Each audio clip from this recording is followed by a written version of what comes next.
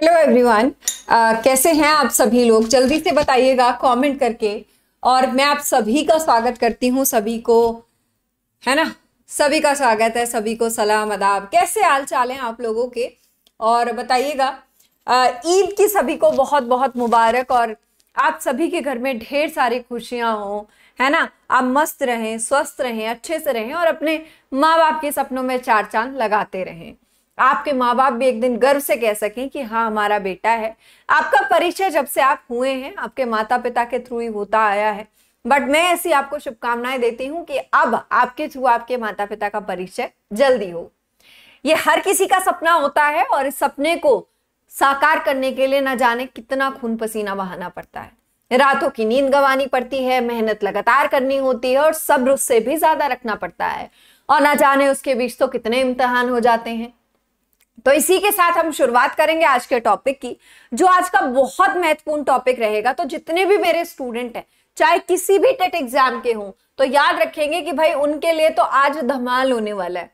उनके लिए तो आज वाकई में धमाल होने वाला है। तो आप लोग, सभी लोग ना बड़े बढ़िया तरीके से सुनेंगे, समझेंगे, देखेंगे हम लोग क्या क्या रहेगा क्या क्या नहीं।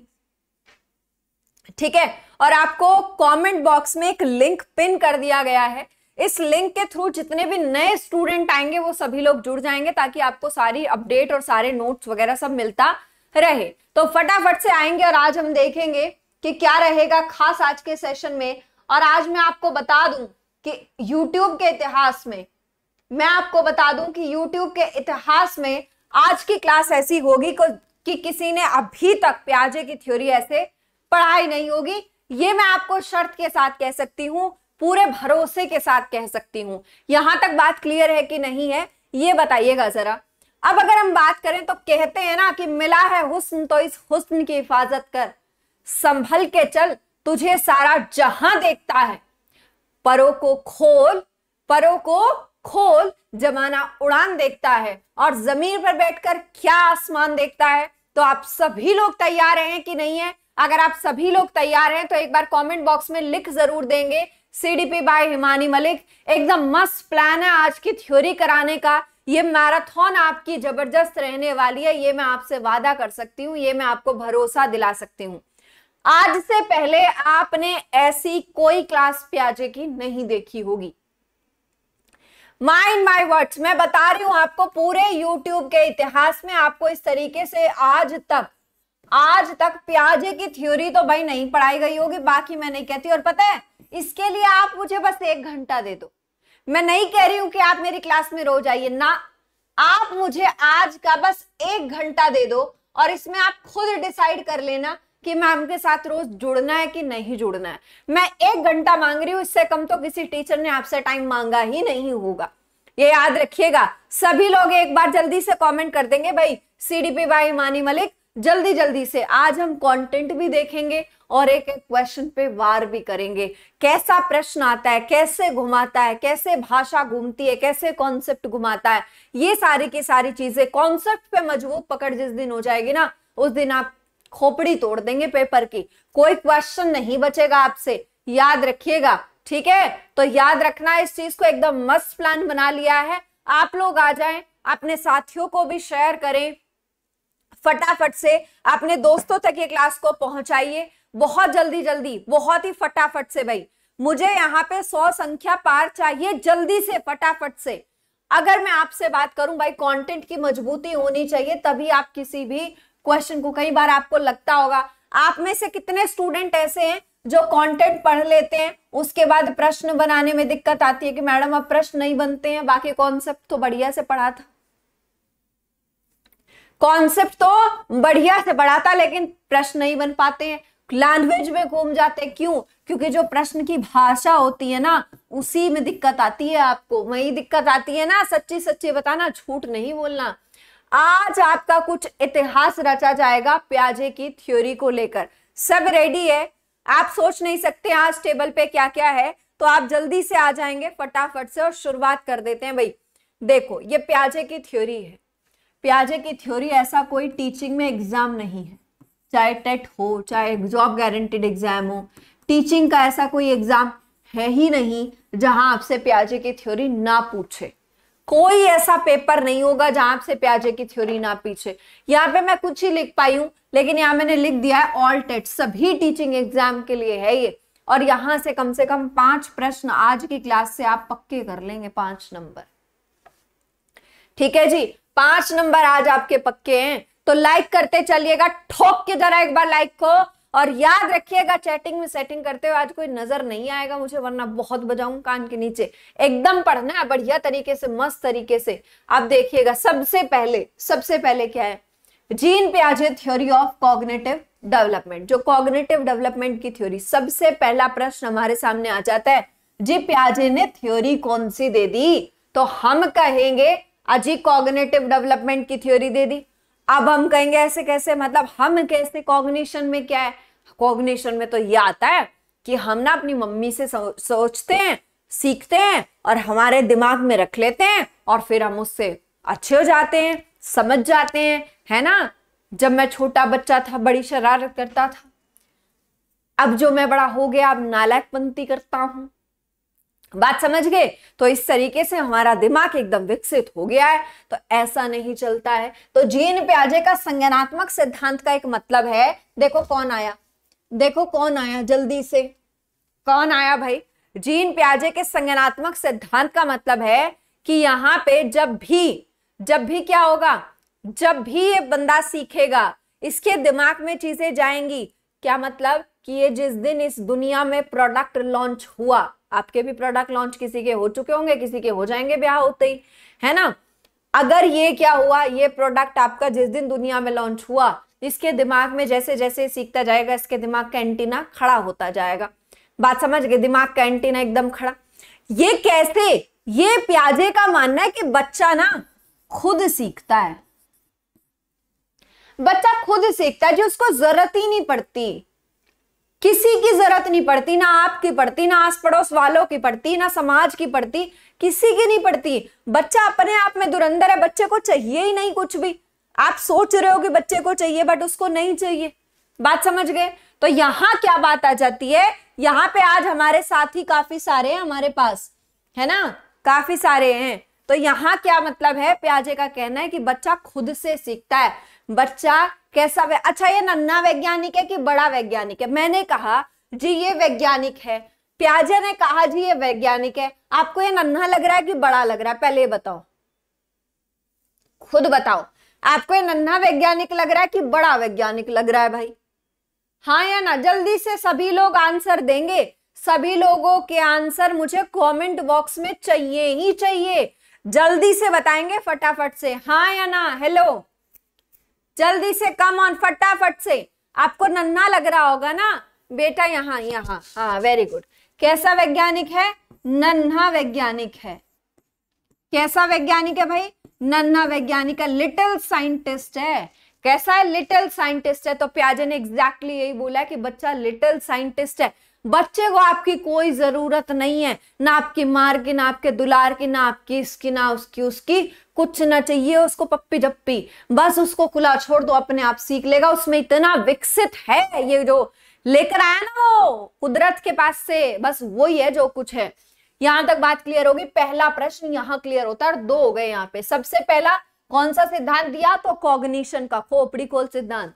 दूसरा क्या हुआ? नन्ना वैज्ञानिक कौन कहते हैं? प्याजे कहते हैं।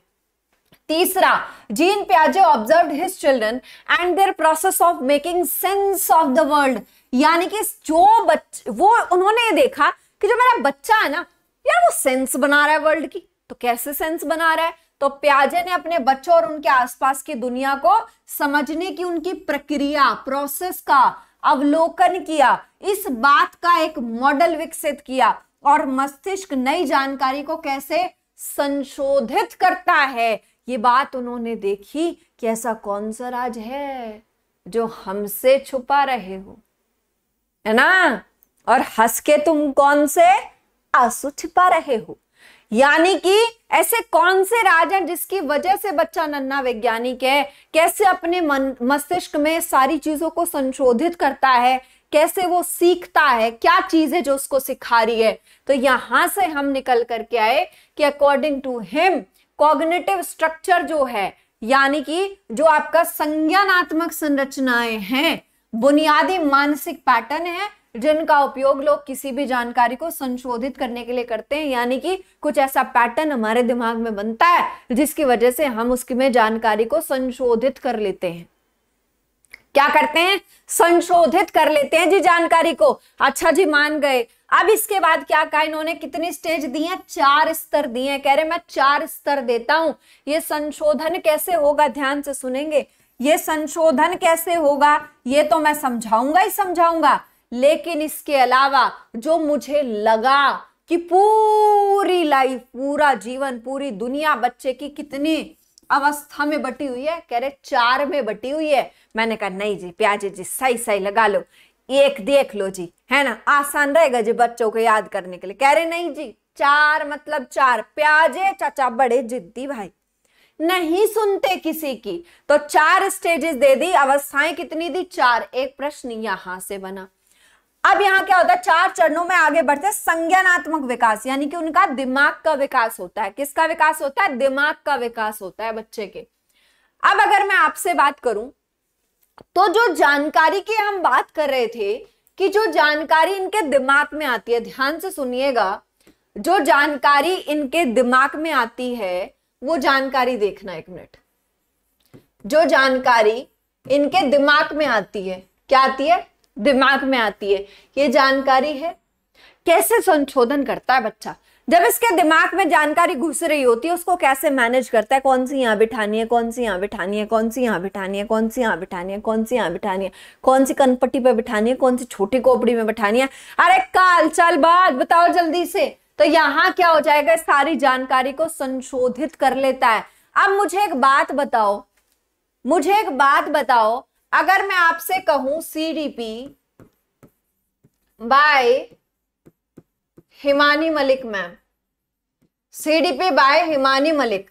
अच्छा एक बात बताइए, आपका दोस्त आता है एक दिन, आपको बताता है, कह रहा है, अरे, सुन, टीचर तो आते जाते रहे वे पर आज की मैडम की क्लास देखी, कति झेरी झेर.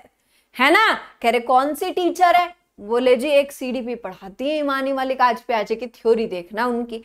हमने कहा अच्छा अच्छा एक बात बताओ, अभी तो आप क्लास में हो, अगर क्लास के पीछे कोई आपसे बात करे तो आपके दिमाग में क्या आएगा? आपके दिमाग में क्या आएगा, बताना जरा। आपके दिमाग में क्या आएगा, सबसे पहले ये बताओ, जल्दी से, फटाफट से बताओ, आपके दिमाग में क्या आ जाएगा? अचानक से अगर मैं ये बात करूँ तो आपके दिमाग में क्या आएगा? क्या आएगा? शक्ल आएगी कुछ बनी हुई या कोई डायलॉग आएगा या कुछ आएगा मेरे से रिलेटेड तो यहाँ क्या होता है? इसका मतलब है आपके दिमाग में यहाँ पे उसका एक स्कीमा बन गया। क्या बन गया? स्कीमा बन गया। आपके दिमाग में उससे रिलेटेड उसका एक स्कीमा बना हुआ है। ये बात क्लियर होगी यहाँ पे आपसे उससे रिलेटेड एक स्कीमा बना हुआ है। यानी कि जो धीरे धीरे जानकारी बच्चा पूरे वातावरण से लाता है, पूरे वातावरण से लाता है उसको अपने दिमाग में सेट करके रखता है। जैसे हम अलमारी में कपड़े सेट करके रखते हैं। है ना? अब मैं आपसे कहूँ, शाहरुख खान। अब मैं आपसे कहूँ, विवेक ओबरॉय। अब मैं आपसे कहूँ, अमरेश पुरी, काट डालूँगा। अब मैं आपसे कहूँ, है ना? एक चौथी पास राजा की कहानी तो आपके भी दिमाग में कोई तो आएगा। अब मैं आपसे कहूँ, सलमान खान। है ना? तो आपके दिमाग में सबका स्कीमा बना हुआ है। सबका स्कीमा बना हुआ है। बना हुआ है कि नहीं बना हुआ है? बना हुआ है। अब जब आपके दिमाग में सबका स्कीमा बना हुआ है तो आपका दिमाग उसको फटाफट रिकॉल कर लेता है। तो यहाँ से ध्यान देंगे ध्यान देंगे यहाँ से आपको क्या मिलेगा? ये तीन वर्ड मिलेंगे और ये बहुत ज़्यादा इंपॉर्टेंट है। यहाँ से तीन नंबर पक्के होंगे। यहाँ से तीन नंबर पक्के होंगे। फटाफट से समझेंगे इसको क्या है। मैं आपको चीज़ें दिखाती जाऊँगी, आप मुझे बताते जाइएगा। आज के बाद आप इन दोनों में कभी कंफ्यूज नहीं होंगे और इसी के साथ एक टर्म है इक्विलिब्रेशन एक टर्म है इक्विलिब्रेशन संतुलन कहते हैं जिसको। क्या कहते हैं? संतुलन कहते हैं जिसको। ये क्या होता है, ये भी हम समझेंगे। जल्दी से बताइएगा फटाफट से जो जो चीज़ें मैं दिखा रही हूँ। ये क्या है? फटाफट। नाम लेते जाना है। ये क्या है? Yes yes yes yes yes yes yes. फटाफट। ठीक है, पेंसिल है। ये क्या है? हैं? अगर नहीं बताओगे ना, सर, में मारूँगी यहीं से पैक के। जल्दी से बता दो, देखो, कुआपड़ी टन हो जाएगी तुम्हारी, है ना? फिर कह ही नहीं पाएगा, राजू एक कुआपड़ी तोड़ इसका पहले ही तोड़ दिया मैडम ने। बताओ, ये क्या है? ये आर्टिफिशियल प्लांट है। बता दिया वेरी गुड अच्छा अब आशीर्वाद भी ले लो जब पढ़ने जा रहे हो, अच्छे काम करने से पहले माता रानी का आशीर्वाद ले लो, सरस्वती माँ।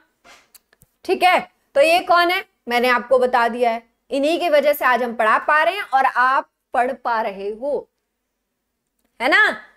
तो ये वो हैं जो हमें ज़ीरो से हीरो बना सकती हैं, फर्श से अर्श तक पहुँचा सकती हैं। है ना? तो इनकी कृपा आप सब भी पर भी बनी रहे।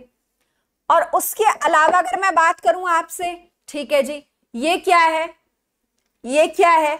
आप कहेंगे, मैडम, पानी की बोतल है, क्या कर रहे हो? हमको सब पता है। अभी पूछती हूँ। अगर तुमको सब पता है तो अभी पूछ लेती हूँ। ये क्या है फिर?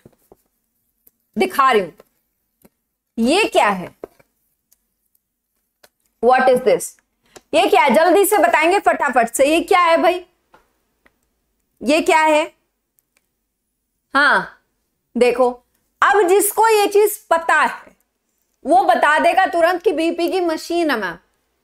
अगर किसी ने ये चीज़ नहीं देखी पहले तो उसके दिमाग में आज उसको पता चला कि अच्छा ऐसे बीपी की मशीन होती है, इसको हाथ में बांधा जाता है और ऐसे हम बीपी चेक कर लेते हैं। यही पता लगेगा उसको। अब किसी के लिए आज ये नई जानकारी थी और किसी के लिए आज ये स्कीमा, यानी कि पहले से ही बनी हुई स्कीमा। देखो, जैसे बनी को लगा घड़ी है तो क्या हुआ? बनी ने आज ये एक नई चीज़ सीखी कि बीपी की मशीन ऐसी होती है। ये बात सीखी। किसी को याद था तो उसके दिमाग में तुरंत आ गया कि ये बीपी की मशीन है। आ गया, नहीं आ गया? अब अगर मैं आपसे पूछूँ तो ये क्या है? आप बता दोगे मैम ग्लास है। ठीक है? ये क्या है? कोई बताएगा? ये क्या है? जल्दी से, फटाफट से। ये क्या है? हा या ना? हा या ना? ये क्या है? जल्दी से बताएँगे। तो ये क्या है आपका? हाँ। जल्दी से बताओ, फटाफट। हाँ। जल्दी जल्दी से बताओ ये क्या था? ग्लास के बाद बताओ ये क्या था? लास्ट है ये। अगर ये बता दिया तो आप पास हो। है ना? किस चीज़ का रैकेट है? मतलब क्या करते हैं इससे? क्या करते हैं इसको? मच्छर मारने वाला रैकेट है ना? बहुत ही बढ़िया। मच्छर मारने वाला रैकेट है। ये क्या है? स्केल है। ये क्या है? और ये क्या है? मैं छुपा लेती हूँ थोड़ा सा। हम्म। ये क्या है? दोनों चीज़ें बता दो। ये क्या है? ये क्या है और ये क्या है? फटाफट से। हाँ एक रेड है, एक व्हाइट है। रेड क्या है? व्हाइट क्या है? जल्दी से बताओ क्या है ये? नहीं देखा मैडम? मैं यहीं से मारूँगी तो मैं फुसफुस। ये देखो। बताओ, ये क्या है? आंसर करें तो आपको ये नहीं बताओगा मैं गारंटी देती हूँ। ध्यान से सुनो, जिस चीज़ का आपका दिमाग ने पहचान लिया, इसका मतलब उसका स्कीमा नया बना हुआ है। अब जब हम पैदा होते हैं, जब हमारा टिंकू पैदा हुआ यहाँ बैठो बेटा। देखो, सर पे चढ़ा के बिठा रहे हैं, ऐसे हाँ। आगे बात करते जब से हमारा टिंकू पैदा हुआ, तब से लेकर के आज तक और जब तक ये मरेगा नहीं, यानी कि कब्र में नहीं जाएगा, तब तक तब तक क्या होगा?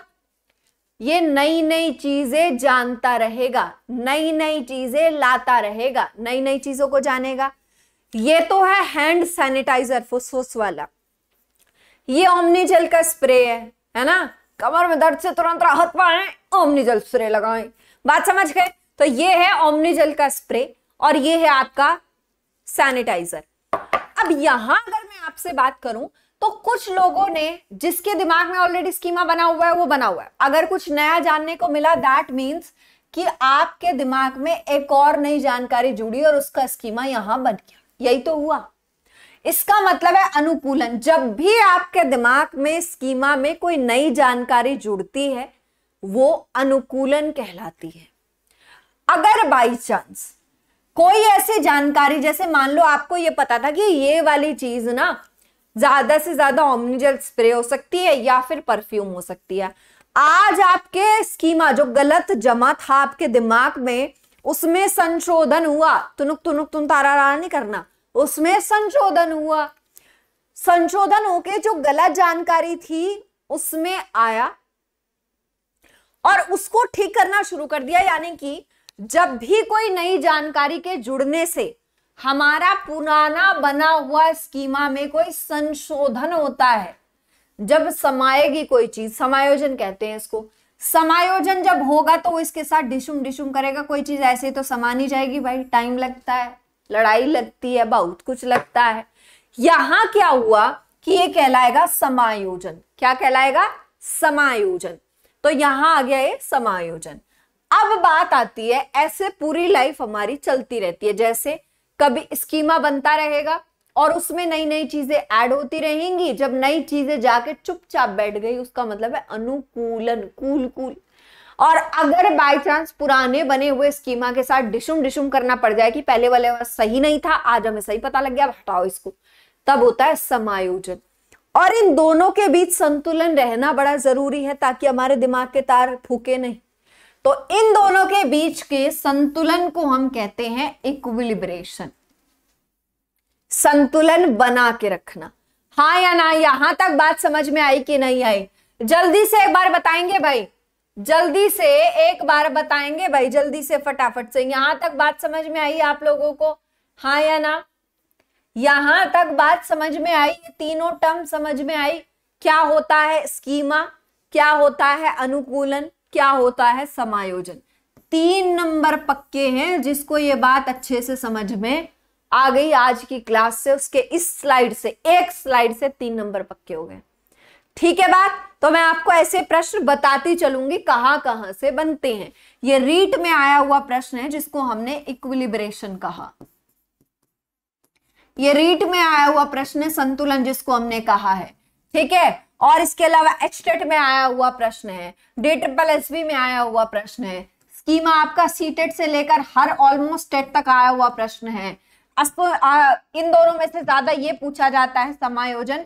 ये सारे में आया हुआ है D triple S B B TET H TET UP TET KVS REET ये ऐसा कोई एग्ज़ाम नहीं है एमपी जहाँ पे ये नहीं आया, हर एग्ज़ाम में पूछा जाता है, आप याद रखिएगा नेक्स्ट पे चलते हैं। अब बात आती है कि भाई कंक्लूजन कर दो। तो बेसिकली पहला प्रश्न बनेगा कि जो आपके प्याजे चचा हैं, वो आधुनिक बाल मनोविज्ञान के पिता हैं या जनक हैं? वो आधुनिक मनोविज्ञान के पिता हैं या जनक हैं? यहाँ तक बात समझ में आ गई। मोर इंपॉर्टेंस टू हेरिडिटी वंशानुक्रम को ज़्यादा महत्व दिया है इन्होंने। किसको महत्व दिया है? वंशानुक्रम को बहुत ज़्यादा महत्व दिया है इन्होंने। किसको दिया है? वंशानुक्रम को दिया है।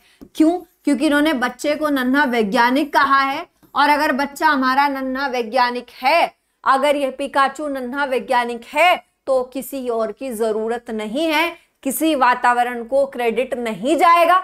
क्योंकि भाई अगर खुद ही है तो ये तो खुद ही सीख रहा है ना। वातावरण में रह के सीख रहा है नो डाउट बट आपकी ज़रूरत नहीं है। किसी मास्टर की ज़रूरत नहीं है, किसी स्कूल की ज़रूरत नहीं है। इनका तो कहना जी, बच्चा तो खुद ही सीख लेगा। हमारा टिंकू टिंकू लिटिल स्टार नहीं है, एकदम बॉम्ब ब्लास्ट है। है ना? बात समझ गए? चाइल्ड क्या है? एक्टिव बिल्डर अपने ज्ञान का सक्रिय निर्माता है। सक्रिय निर्माता है। नन्हा वैज्ञानिक है तो आप याद रखिएगा, सक्रिय निर्माता है और नन्हा वैज्ञानिक है तो यहाँ तक आपको याद रखना है। हाँ या ना? जल्दी से बताओ, एक प्रश्न यहाँ क्लियर हुआ, दूसरा यहाँ हुआ, किसको इंपॉर्टेंस दी है? तो यहाँ हो गया वंशानुक्रम को या आनुवांशिकता को। तीसरा बना एक्टिव बिल्डर होना चाहिए कि नहीं? और चौथा बना लिटिल साइंटिस्ट होना चाहिए कि नहीं? और पांचवा मैं आपको ये बता रही हूँ किस चीज़ को प्याजे ने, किस चीज़ को प्याजे ने, मैं पूछ रही हूँ क्वेश्चन आंसर दीजिएगा। नज़र अंदाज। किस चीज़ को प्याजे ने नजरअंदाज कर दिया? इस प्रश्न का आंसर आप खुद देंगे। जल्दी दीजिए फटाफट से। आज के बाद आपको ये थ्योरी नहीं पढ़नी है बच्चा पार्टी आज के बाद आपको ये थ्योरी कभी नहीं छूनी है। नहीं पढ़नी है, नहीं टेंशन लेनी है। हा या ना? आपको आज ये थ्योरी यही खत्म कर देनी है तो किसको? कम आका, नजरअंदाज किया तो वो है सोसाइटी वो है एनवायरमेंट क्या है? एनवायरमेंट वातावरण। नेक्स्ट पे चलते हैं। अब बात करते हैं, जो प्याजे ने कहा कि मैं ना आपकी पूरी ज़िंदगी को चार अवस्था में बांटूँगा। चार अवस्था में बांटूँगा और हर बच्चे का ऐसे ही होता है। हमने कहा, जी, ठीक है। आप नाम दे दीजिए प्याजे चाचा, हम तो कह ही नहीं रहे आपसे कुछ। तो इन्होंने कहा, ठीक है, सुनो, पहला है सेंसरी मोटर पहला है सेंसरी मोटर यानी कि संवेदी प्रेरक संवेदी प्रेरक अवस्था, ठीक है? बर्थ से दो साल, बर्थ से दो साल, यानी कि ज़ीरो टू टू इयर्स फिर है प्री ऑपरेशनल है ना? फिर है फिर है प्री ऑपरेशनल अब याद रखिएगा आप एक चीज़ को। याद रखिएगा एक चीज़ को। अब यहाँ से इसके प्रश्न भी बनाऊँगी मैं। मैं क्या करूँगी? प्रश्न भी बनाऊँगी, ठीक है? अब यहाँ बात करें, पहले प्री ऑपरेशनल है, तीसरा कॉन्क्रीट ऑपरेशनल है, चौथा फॉर्मल ऑपरेशनल है। फॉर्मल मतलब अमूर्त। संक्रियात्मक। संक्रियात्मक। ये क्या है? कॉन्क्रीट मतलब ऑब्जेक्ट के साथ, मूर्त संक्रियात्मक। और ये क्या है? पूर्व संक्रियात्मक। अब यहाँ के बाद ये चलेंगे आगे। भाई, इन स्टेजेस की मतलब इनकी विशेषताएँ क्या है? कैसे प्रश्न बनते हैं? तो जितने भी प्रश्न यहाँ से बनते हैं, मैं सभी के सभी चल, बताती हुई चलूँगी। और याद रखिएगा, इनकी स्टेजेस से आपको हर जगह प्रश्न आते हैं। हर जगह प्रश्न आते हैं, हर जगह पूछे जाते हैं। आप में से आज पहली बार कौन कौन जुड़ा है? क्लास में एक बार हाथ खड़ा करेंगे, जल्दी से। आपके लिए है कुछ धमाका। वो भी एकदम फ्री नेक्स्ट हमारा कहता है क्वेश्चन पूछता है हमसे कैसे पूछता है जी? हम बता देंगे, आप जैसे मर्ज़ी पूछो। किस अवस्था में बच्चे वस्तु स्थायित्व की समझ तो बना लेते हैं, परंतु यह नहीं समझ पाते कि क्रियाएँ परिवर्तनीय हैं और उन्हें निर्माण चीज़ों की मौजूदा दिखावट पर निर्भर करते हैं। Which children in dash stage understand object permanence but do not realise the action यानी कि उनके पास लॉजिक नहीं आता। लॉजिक नहीं आता। बस ये पता लग जाता है कि वस्तु स्थायित्व है। जो ये मेरी पेंसिल है, ये यही है, इसको कोई चिड़िया और कोका मैना, टेना सेना लेके नहीं गई है। बात समझे? यहाँ से आपके पास चार ऑप्शन यहाँ पे मिलेंगे। आप ध्यान से सुनेंगे। गई भैंस पानी में। इसने पूछा किस अवस्था में वस्तु स्थायित्व बना लेते हैं? तब बच्चे को ये पता लग जाता है उसको लगता है कि ये तोड़ देगा, ये रिमोट एक ही है एसी का रिमोट महँगा आएगा। तो दिख दिख दिख दिख दिख चिड़िया ले गई और ये चीज़ छुपा ली। फिर बच्चा और ज़ोर ज़ोर से रोता है। क्या करता है? ये और ज़ोर ज़ोर से रहता कि है ना? क्यों? क्योंकि इसको एक चीज़ पता लगी कि कोई चिड़िया नहीं ले गई है मम्मी ने छिपाया। और मम्मी ने छिपाया तो उसको बड़ी समस्या है, बड़ी दिक्कत है, बड़ी दुविधा है। लॉजिक की बात ही नहीं है, हल्की सी भी बात नहीं ऑब्जेक्ट परमानेंस की बात है। अब अगर आपका एक क्वेश्चन सही नहीं हो इसका आंसर है संवेदी प्रेरक। संवेदी चालक, पहली अवस्था है ज़ीरो से दो साल की अवस्था है। ज़ीरो से दो साल की अवस्था है। अगर मैं आपसे बात करूँ तो यहाँ पे हमें समझना पड़ेगा कि ये जो पहली स्टेज है, इसकी क्या क्या कैरेक्टरिस्टिक्स है ताकि हमारा हर क्वेश्चन सही हो जाए। जितने लोग आज तक पीडीएफ और क्विज नहीं दे रहे हैं। उनके लिए फ्री में इंतज़ाम कर दिया है मैंने। इसी वीडियो के कमेंट सेक्शन में आपको एक लिंक पिन मिलेगा। क्लास के बाद उस लिंक पे क्लिक करना है और जाके ऐप डाउनलोड करके फ्री में ये चीज़ें ले लेनी है। अपना क्विज दे लेना, बाकी दे लेना, बाकी पैसे वाले से आपका कोई लेना देना नहीं है, ये काम कर लेना। अब यहाँ पे ज़ीरो से दो साल, जिसको ये सॉरी ये पूर्व ऑपरेशनल नहीं है, संवेदी प्रेरक अवस्था है। संवेदी प्रेरक अवस्था, यानी कि पहली स्टेज सेंसरी मोटर क्या है? In this sensory motor stage infant explore the world through senses and motor activity motor activity क्या होता है? अब हम इससे क्या कर रहे हैं? क्या कर रहे हैं? कि देखो जी मोटर एक्टिविटी का क्या मतलब है? कि हाथ चलाओ, सीधा टेंशन हाँ पैर चलाओ बेटा, ये हाँ हाँ हाँ. तो मतलब इसकी बड़ी बड़ी मांसपेशियाँ। क्या करता है बच्चा? ऐसे तो करता है। गोल गोल होके जाएगा, ऐसे काम करेगा। ये सारी चीज़ें किसमें होती हैं? Explore the world through sensory motor activity ठीक है? They experience perceive organise feel and understand यानी कि वे अपनी इंद्रियों के माध्यम से पर्यावरण को अनुभव करते हैं, देखते हैं, पहचानते हैं महसूस करते हैं। आप छोटे बच्चे को कोई भी चीज़ें दीजिएगा रिमोट दोगे तो उसको भी मुँह में डाल लेगा, खिलौना दोगे तो उसको भी मुँह में डाल लेगा ग्लास दोगे तो उसको भी मुँह में डाल लेगा। ये भी दे दोगे ना तो भी वो उसको मुँह में डाल लेगा। उसको लगता है टच करके देखूँ जीप बताएगी कि ये है क्या? क्योंकि उसके सेंसेस काम कर रहे हैं। सुनाई दे रहा है, दिखाई दे रहा है, जीभ से टेस्ट आ रहा है और रो देता है। ज़्यादा ज़्यादा ये कर देता है। इसके अलावा नहीं पता उसको, कोई लॉजिक नहीं, जानता नहीं, ये कौन फूफा, कौन मामा, कौन चाचा, कौन तुम्हारी शादी में, हमारी शादी में आके जी बसड़ मचाएगा जी। अरे मैनू तो पता ही नहीं जी, आज तो हम हम तो हम तो अस्सी अभी अभी खड़े हुए हैं आके है ना? हाँ दस परमात्मा ने अभी भेजे थे हाँ इतना फूप पर उस गया हाँ मैंने पता ही नहीं जी फूफा कौन है ना? तो उसको नहीं पता। बात समझ गए? अगर इस चीज़ का आपको जीता जागता उदाहरण देखना हो, वो भी मैं दिखा दूँगी। लास्ट में पूछूँगी आपसे बहुत भयानक क्वेश्चन ठीक है जी? यहाँ तक बात क्लियर हो गई। महसूस करके सीखता है। अगर हम बात करें तो ऑब्जेक्ट परमानेंस ये भी उसी स्टेज की है। ठीक है? तो यहाँ तक आप मत लिखिएगा, मैं इसको करेक्ट करके आपको पीडीएफ पर प्रोवाइड करूँगी।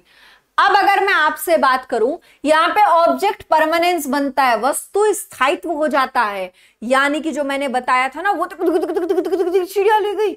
है ना? फिर वो वहीं आ जाता है। इसको कहते हैं ऑब्जेक्ट परमानेंट जब उसको समझ में आ जाता है, कैसे? आपको और उदाहरण देखना, इतना भयानक दिखाऊँगी ना आप। खुश हो जाओगे जैसे जैसे मम्मी आती है कौन आता है?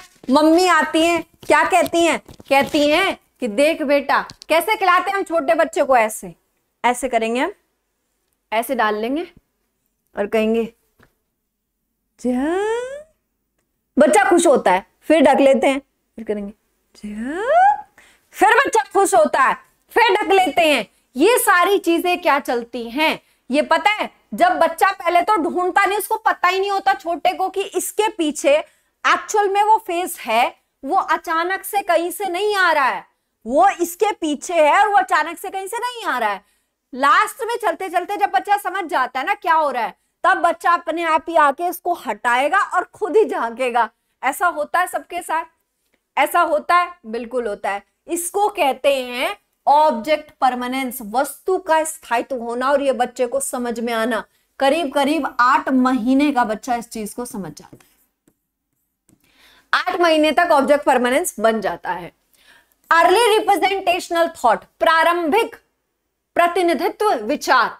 अर्ली प्रेजेंटेशनल कोई भी चीज़ समझ आता तेरी तरफ़ ही आ रही है। मारने की सोचना, समझ जाएगा, तेरी तरफ़ ही है इशारा। Develop the concept of causality कारण की अवधारणा विकसित करना। कि मैंने एक ग्लास गिराया, इसीलिए मेरी पिटाई होने वाली है, इतना उसका दिमाग चलता है दो साल तक। Simple reflexes and separation activity यानी कि कई बार यहाँ से प्रश्न आया है सेपरेशनल एक्टिविटी का क्या मतलब होता है? सेपरेशनल एक्टिविटी का क्या मतलब होता है? सेपरेशनल एक्टिविटी का बस एक ही मतलब होता है जी, वो क्या होता है?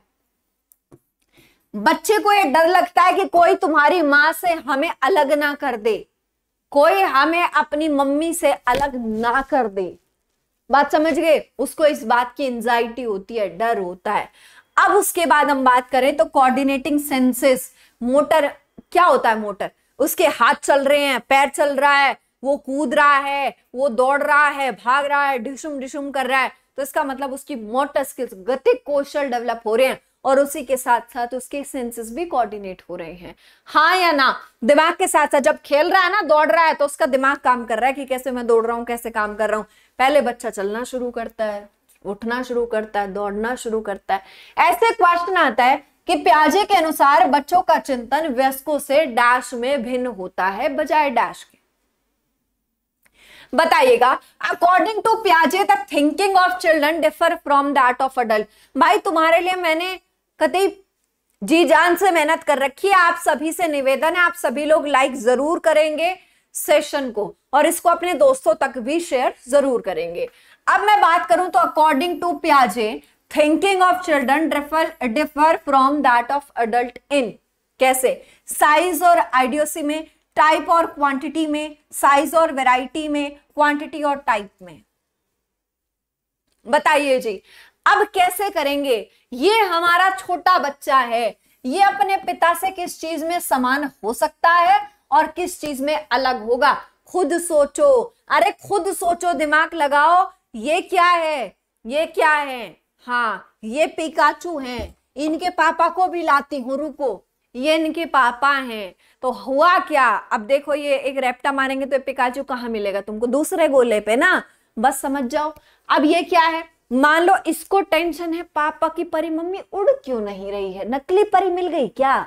इसको टेंशन है कि बेटे की इस नला की फ़ीस कहाँ से भरूं? इसको कपड़े कहाँ से दूँ? खाना रोज चाहिएगा इसको। तो ये सारी चीज़ें आ जाती हैं। जब ये सारी चीज़ें आ जाती हैं तो समस्या आ जाती है। अब उसके बाद क्या होगा? प्याजे के अनुसार बच्चे का चिंतन व्यस्कों से डैश में भिन्न होता है, बजाय डैश के। किसमें भिन्न होगा? प्रकार दोनों के अलग होंगे। प्रकार अलग हुए ना, एक को तो फैमिली की टेंशन है, एक की पापा की परी नहीं उड़ रही, उसको टेंशन है, मम्मी, ये धक धक धक धक, दिल क्यों नहीं कर रहे है? है ना? और मैं ऐसा निकाल के अपने पापा की परी को दिल दूँगा, फिर वो उड़ेगी। तो यहाँ क्या है? इसकी मात्रा, हो सकता है इतनी खोपड़ी में टेंशन लेके बैठा हो जितनी पापा बैठ, लेके बैठे हैं इसके। कि इस नलायक को कैसे सुधारू? अब प्रकार दोनों के अलग है। बच्चों का चिंतन वयस्कों से प्रकार में भिन्न हो सकता है, बजाय मात्रा के। मात्रा क्या पता सेम लेके बैठे हो? हा या ना? मात्रा क्या पता सेम लेके बैठे हो? हा या ना भाई? है ना? उसके बाद हमारा क्वेश्चन आता है, जैसे Jean प्याजे in this theory of cognitive development describe earlier cognitive structure as यानी कि जीन प्याजे अपने संज्ञानात्मक विकास के सिद्धांत में पूर्व संज्ञानात्मक संरचनाओं को डैश के रूप में वर्णित करते हैं। हाँ फेफड़े फड़फड़ा रहे हैं उसके। बहुत मार मारेंगे। है ना? पेन की रियाज तक अटैक जाएगा अगर मैंने एक रेक्टर दिया तो।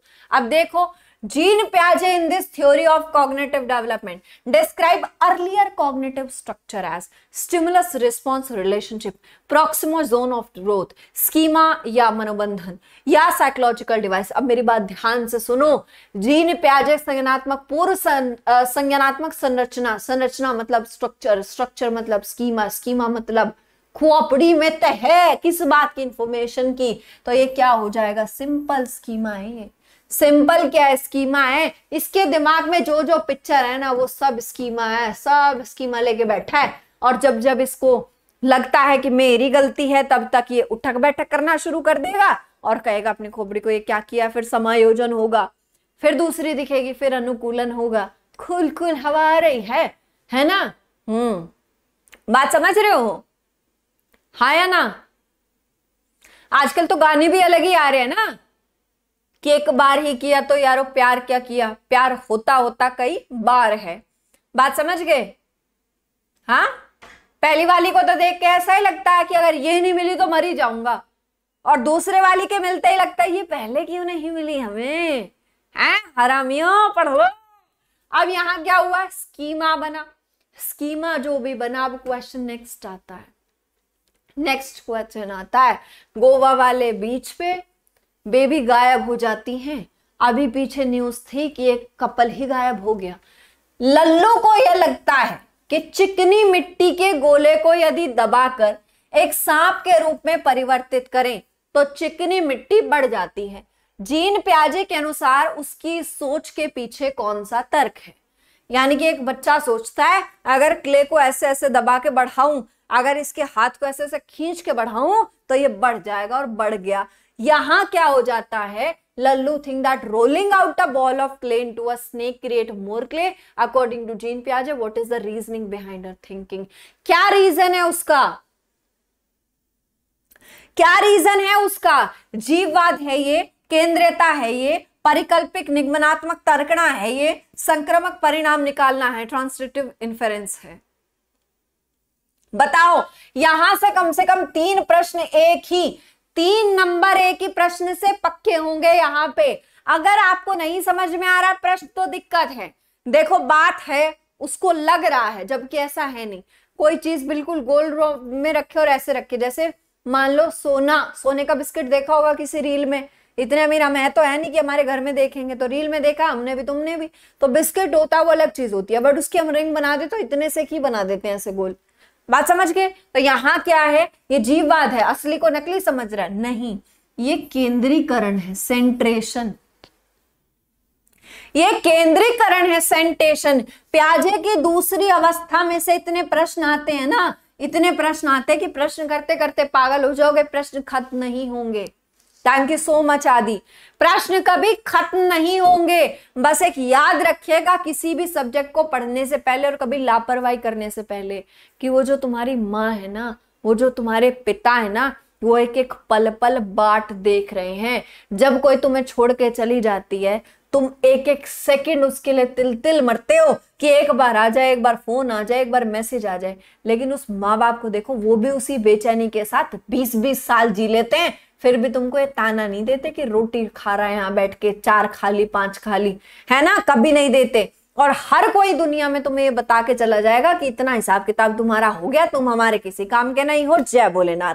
बात समझ गए? कुछ नहीं करता है कोई। सिर्फ़ आपके माता पिता और उनकी आँखों में अगर तुम्हारी खुशियाँ उनके चेहरे पे मुस्कुराहट आ जाएगी तुम्हारी मेहनत से, क्यों ना करे वो मेहनत, ये बताओ। एक चीज़ याद रख लेना एक चीज़ याद रख लेना कि मर जाएँगे लेकिन कर जाएँगे। बस ऐसा ही बच्चा मेरी क्लास में जुड़ेगा, जिसको पूरे में से पूरे लाने होंगे। क्वेश्चन और आंसर में गैप नहीं होगा नंबरों में।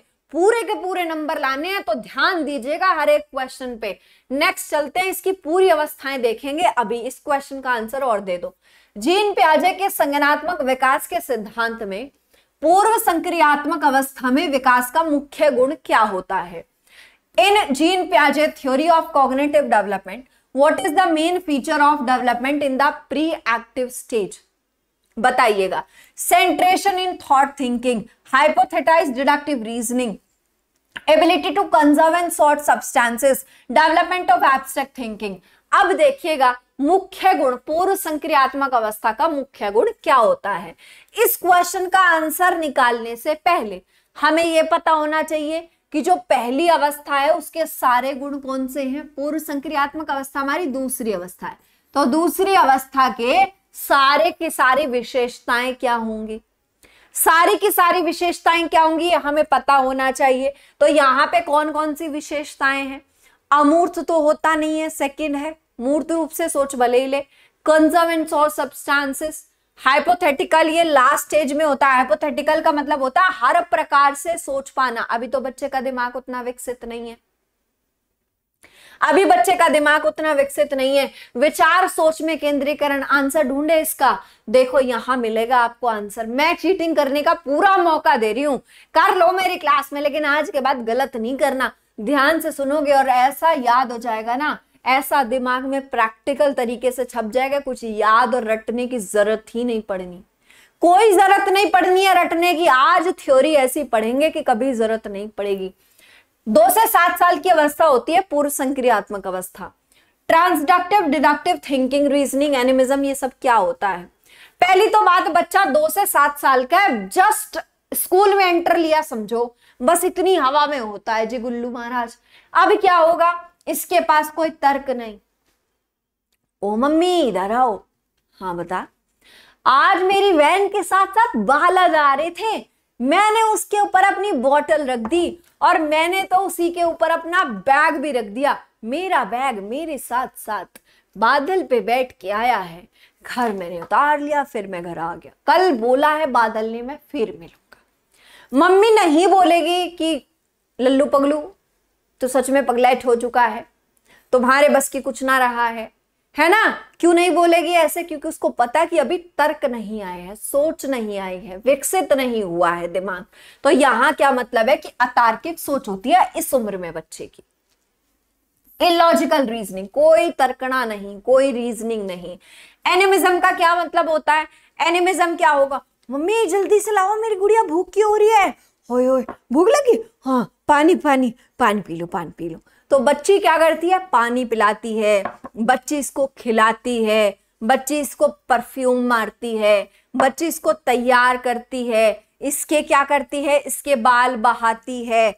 बाल बहा दिए। इसकी क्या करती है? इसकी क्या करती है? रबड़ लेके इसकी पूरी की पूरी चोटी बनाती है। ऐसे करके क्यों बनाती है? उसको लगता है कि इसमें जीवन है। इसके प्राण चल रहे हैं। इसको बोलते हैं हम जीववाद एनिमिज्म जब बच्चा ये समझे कि निर्जीव चीज़ें भी नॉन लिविंग थिंग भी लिविंग थिंग्स हैं, हमारी तरह सांस लेती हैं, यहाँ क्या हो जाएगा? इसको हम एनिमिज्म कहते हैं, जीववाद।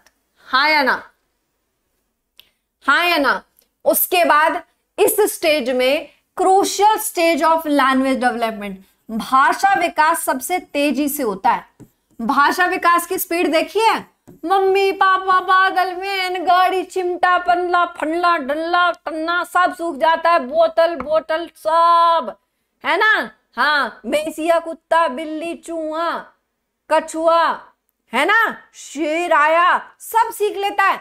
दो से पहले तो कुछ नहीं जानता और एकदम से इतनी स्पीड बन जाती है कि भाषा के विकास की रफ्तार ऐसे होती है, छत फाड़ के निकल जाती है। बात समझे, सबसे ज़्यादा तेज भाषा इसी अवस्था में सीखता है। इरिवर्सिबिलिटी का क्या मतलब है? अपलटावी, यानी कि उलटना पलटना नहीं जानता। इसका क्या मतलब हुआ? जैसे, उलटना पलटना नहीं जानता। अब मम्मी उसको कहेगी, चिंटू, इधर आ।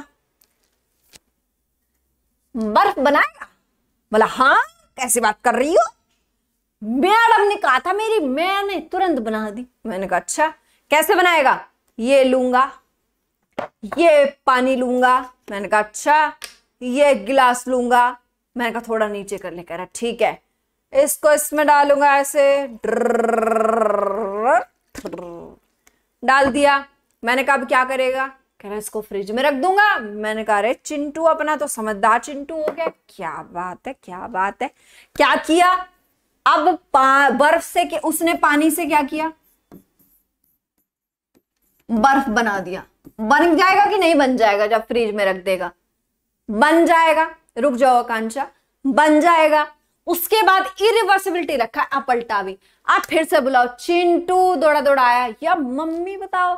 मैंने कि एक काम करेगा। कह रहा हाँ जैसे अभी कर दिया था वैसे रॉकेट की रफ्तार से। मैंने कहा अच्छा तो बताओ, मैंने कहा, इस पानी से डर करके फिर बर्फ़ से पानी बना पाएगा? इतना तेते दौड़ के यहीं लेट गया वापस, कह रहा हूँ आता जाता कुछ है नहीं। मम्मी बनी फिरती है। अच्छा इसको समझा भी नहीं सकते। उसको पता ही नहीं है कि वापस प्रोसेस कैसा होता है। बच्चा घर से स्कूल चला जाएगा, स्कूल से घर आएगा ही नहीं। और आपको लग रहा है कि हाय, मेरा बच्चा कितना मासूम है। बेटा, तू कैसे दुनिया के जुल में झेलेगा? बेटा, तेरी तो नाक भी टुन्नू सी है। है ना? लेकिन इसको नहीं पता कि बेटा पूरे के पूरे मगरमच्छ को ज़िंदा निकल जाएगा। थोड़ा सा समय दो बेटे को। दस साल बाद छोड़ो, सात एक साल बाद बच्चे को देखना। कौन कौन सी गलियों में से निकल के आएगा? तुम्हारी रूह ने भी गलियाँ नहीं देखी होंगी। बात नहीं समझ रहे हो? इरिवर्सिबिलिटी है अभी तनिक उसके बाद ईगो सेंट्रिज्म अहम केंद्रिता। अब बच्चे को कैसे बहलाते हैं हम लोग? क्योंकि कोल्ड ड्रिंक वगैरह उनके लिए सेहत के लिए अच्छा तो होता नहीं है है ना? अब हम क्या करते हैं? हम ये करते हैं कि एक काम कर, सुन इधर हमने ये ग्लास लिया, अब उसको लगता है हाँ जी, बढ़िया ग्लास है। हमने ये ग्लास लिया, हमेशा बच्चा ये वाला ग्लास मांगेगा। रीजन, ये उसको लंबा लग रहा है। ये उसको लंबा लग रहा है, बड़ा लग रहा है, उसको लगेगा कोल्ड ड्रिंक इसी में ज़्यादा है, पानी इसी में ज़्यादा है। अगर मैं उस बच्चे को इस ग्लास में डाल के दूँ तब बच्चा नहीं लेगा। उसको लग रहा है, मम्मी, देखो, छोटा है। तो ये तो छोटा हो गया, ये तो आधा ही हो गया। देखो, ऐसे से देखो। हाँ दिखेगा। है ना? ये क्या हो गया? बेकार हो गया। अब यहाँ से क्या होता है? अब बच्चे को ऐसा क्यों लग रहा है? क्यों? क्योंकि बच्चा इसका हाइट वेट वॉल्यूम कुछ नहीं जानता। बच्चा एक चीज़ जानता है, छोटा है बड़ा है। गलत बात बा। मम्मी, ठीक नहीं हमारी। यहाँ क्या हो जाएगा आपको लग रहा है? ये कहलाता है अहम केंद्रिता। ये सेंट्रेशन है सॉरी ये क्या है? सेंट्रेशन और अहम केंद्रिता मतलब जो मैं इरिवर्सिबिलिटी के बारे में बता के आया हूँ कि मम्मी मम्मी बनने लायक नहीं थी मेरी। और और उनको ये भी नहीं पता है कि बड़े वाले ग्लास में ज़्यादा कोल्ड ड्रिंक है। मैं खुद बना के आया अच्छा ठीक है। इसका मतलब है बच्चे में अहम केंद्रता है, यानी कि वो जो सोच रहा है, जैसे दुनिया को देख रहा है, उसको लगता है पूरी दुनिया वैसे ही सोच रही है, वैसे ही चल रही है, और मैं कौन? मैं खामखा। मतलब मैं सब कुछ। बात समझ गए? उसके बाद, जीन प्याजे के सिद्धांत में क्रमबद्धता किस संदर्भ में प्रयोग हुआ है। Seriation in Jean प्याजे theory refers to the ability to order object अब सीरिएशन क्या होगा? क्रमबद्धता पे लगानी है। है ना? क्रमबद्धता पे मैं सबको ब्लॉक ठुकवा दूँगी, फिर तुम राज़ी रहोगे। एक का भी मत, आने मत देना यहाँ पे, फालतू कमेंट नहीं आएँगे। और जो कर रहा है ना, उसको रिपोर्ट कर दो दस बारह लोग साथ में मिलके। कभी भी किसी क्लास में आपके साथ कोई बदतमीजी या डिस्टर्ब करे ना क्लास को सब लोग उसको रिपोर्ट कर दिया करो, फिर यूट्यूब उसको आने ही नहीं देगा। यूट्यूब पे ही नहीं आने देगा सेम नंबर से।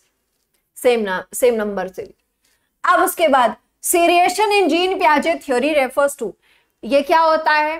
जब हम क्रम मतलब क्रम में लगाना, या तो घटता क्रम होगा, या तो घटता क्रम होगा, या बढ़ता क्रम होगा होगा नहीं होगा? हाँ या ना? या घटता क्रम होगा। अब यहाँ क्या हो जाएगा?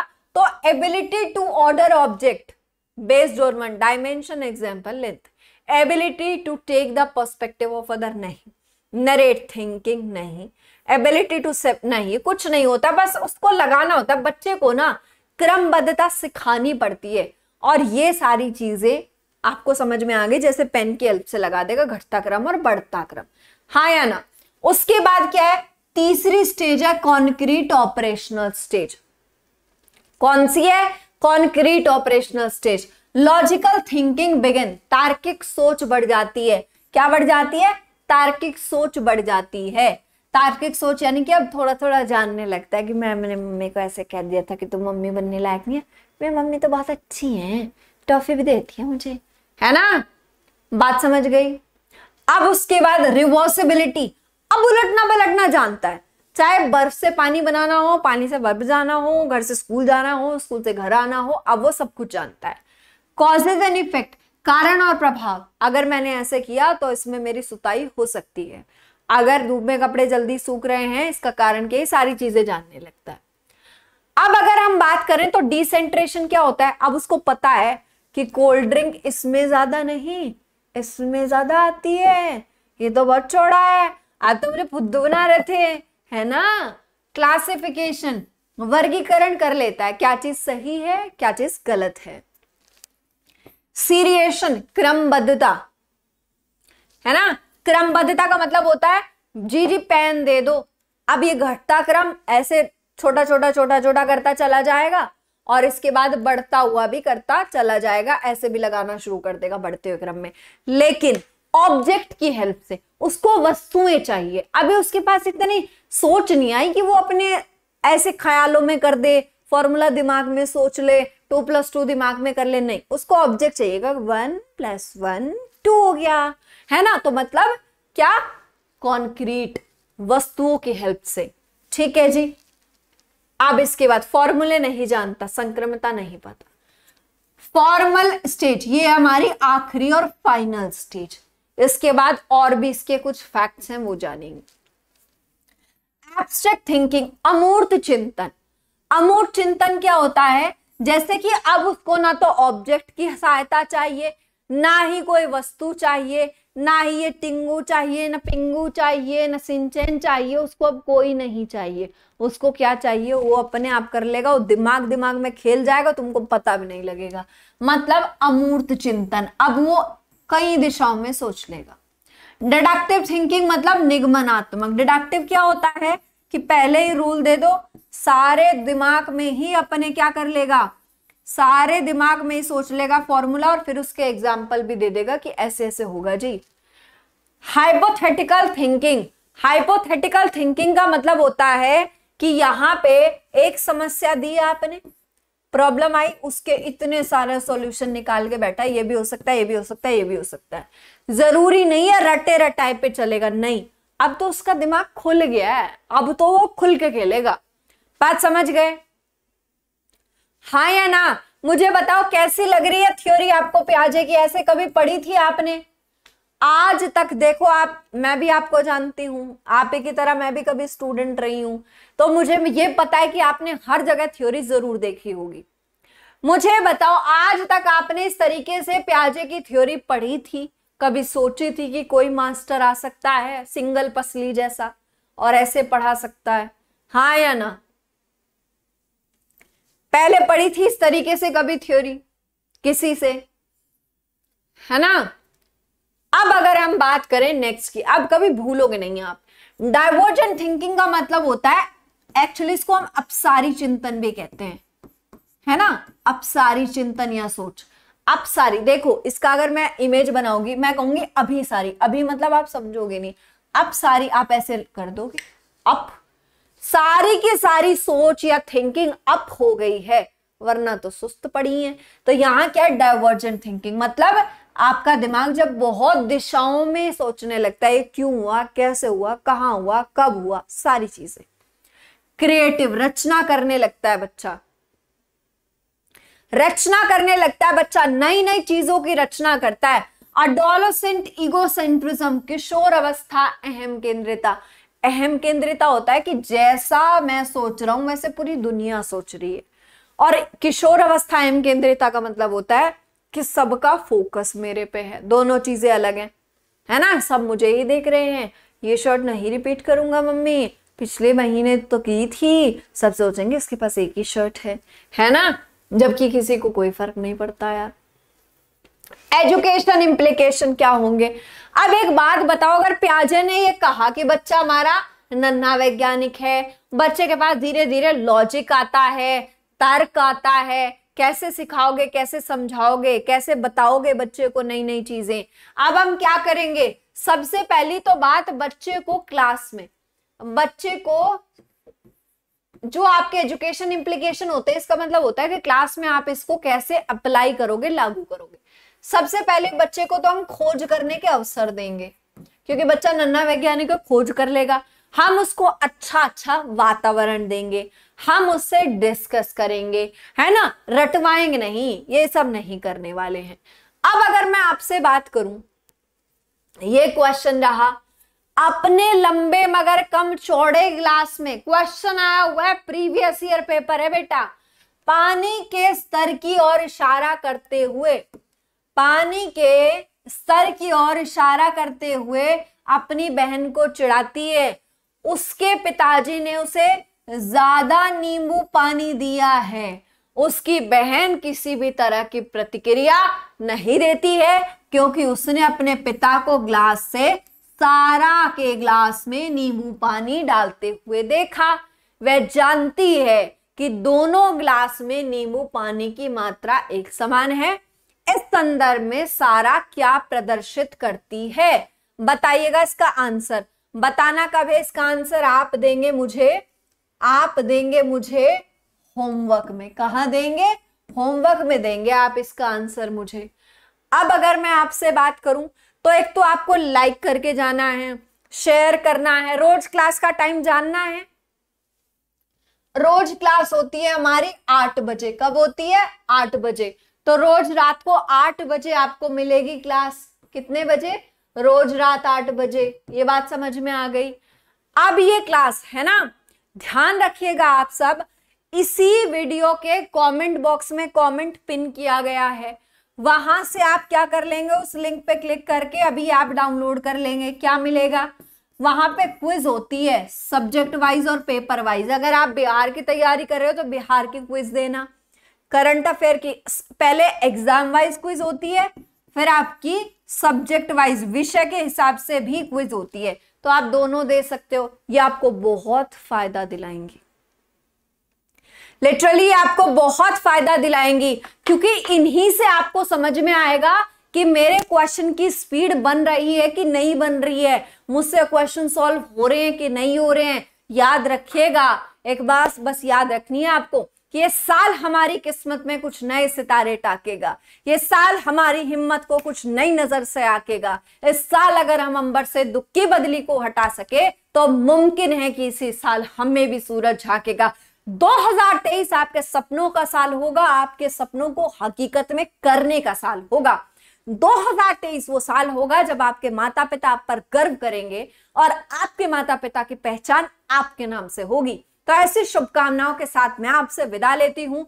रोज मिलूँगी आपसे रात आठ बजे। इसी के साथ आप सभी का धन्यवाद दिल से बहुत सारा। कमेंट करके आप ज़रूर बताइएगा कि क्लास कैसी लगी। रात को सोने से पहले मैं अपने स्टूडेंट के कमेंट ज़रूर पढ़ती हूँ कि उनकी प्रतिक्रिया कैसी आई। और अगर आप चाहते हैं, इसी तरीके के सेशन आपको रोज मिलते रहे तो आपको साथ देना है। अपने साथियों तक ज़रूर इस सेशन को शेयर करना और कमेंट करके बताना है, क्लास कैसी लगी? मैं रात को सोने से पहले कमेंट्स पढ़ूँगी वीडियो के नीचे कमेंट करके ज़रूर बताना और ऐप आज ही डाउनलोड कर लीजिए।